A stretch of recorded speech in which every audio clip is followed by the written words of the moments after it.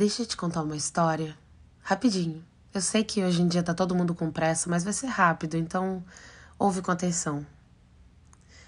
Esses dias eu tive uma crise de ansiedade bem diferentona, para dizer o mínimo. Tinha sido uma semana daquelas, sabe? Muita coisa para fazer e nem tudo dando certo, o que gerou um acúmulo dessas coisas, uma bola de neve, e eu cheguei no final de semana completamente exausta. Claro.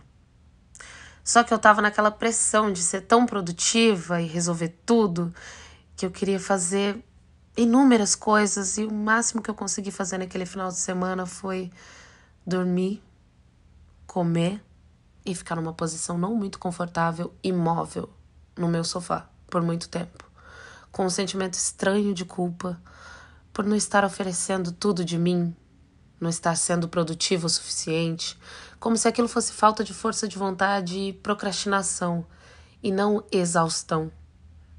O sentimento de culpa foi tão grande que eu tive uma crise de ansiedade. Mas na hora eu não percebi. Para mim, aquela reflexão toda era necessária para eu acordar para a vida de vez e começar a ser o meu melhor.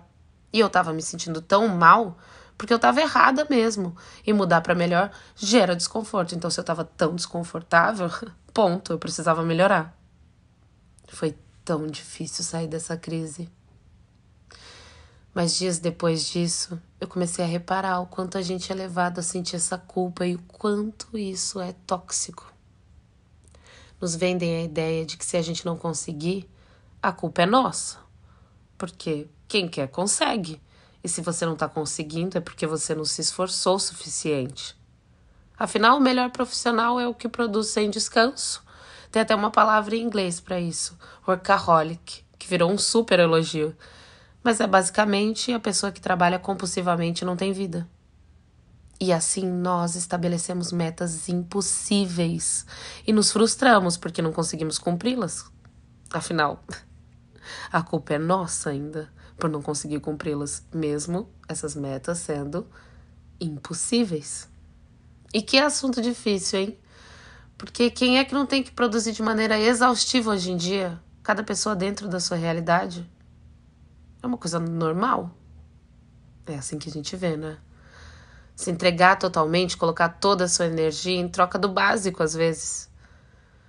Bom, tem até quem tenha tudo na mão, né? Mas não é desse tipo de minoria que a gente tá falando aqui agora. Eu sei que você tá me entendendo. A questão é que a gente trata tudo isso, essa pressão toda, como se fosse normal. Ah, a vida é assim mesmo. E quando isso acontece, essas metas impossíveis de produtividade começam a parecer o mínimo que nós podemos fazer. Sabe quando você se mata para tirar aquele 10 na prova e é tratado como se fosse mais que a sua obrigação?